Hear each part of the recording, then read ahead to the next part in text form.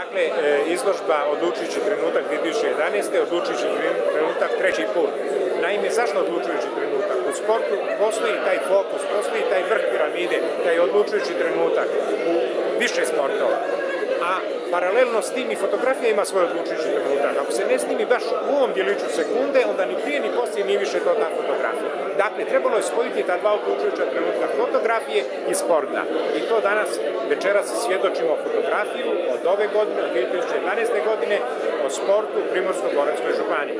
Fotografija je nastala na utakmici Rijeka Istra, 87. minute, utakmica je bila nikakva 0-0 ja sam promijenio objektiv, stavio sam taj široko, išao sam iza gola malo nešto traži kao i taman je bio slobodni udarac i da vam odam, golman je obranio, 0-0 je završio.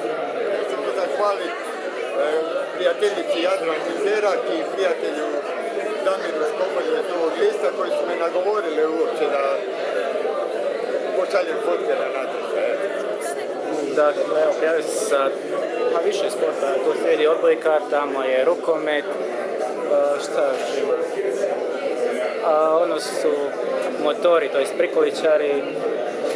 Prijavio se još dosta fotografija, ali nisu, nisu sve ovdje izložene. Evo dobio sam nagradu za Fair Play, gdje se vidi da su igrači, protivnici pomaže jedan drugome pri ustajanju nakon što ga polomio. I tako, zato sam nagrađen sa tom nagradom.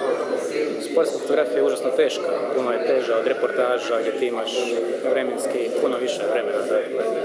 Ovdje moraš doći sam trenutak, stotinka sekunde za nešto napraviti. Ali zato je puno teže. I uvjeti su teži, zna biti mračnim dvoranama, zna biti po kiši, vjetru tako, dosta, dosta je zeznuta za raditi uopće nisam imao priliku jer vrlo malo radimo sport i našao sam se na kupu Hrvatske u sinhroniziranom plivanju gdje je nas upao klub Stela Maris iz Rijeke i kad je raspisan natječaj sjetio se te fotografije, poslo je pobjedio, ne pobjedio, dobio jednu malu pohvalu. Evo, samo malo da i Zagrebčani se umiješaju ovdje u Primorsko-Goranskoj županiji. Teško je zapravo napraviti dobru sportsku fotografiju, treba puno vremena, truda, potpuna koncentracija na ono što se snima, znači nema gledanja okolo. Čovjek kad na nogometnu utakmicu, uvijek me pitaju kakva je bila, ne znam kakva je bila. Nikad nisam vidio ni jednu do kraja. Uvijek sam koncentriran na sasvim neke druge stvari. One koje su važne čitati da vidim, a ne ono što mene osobno zanima.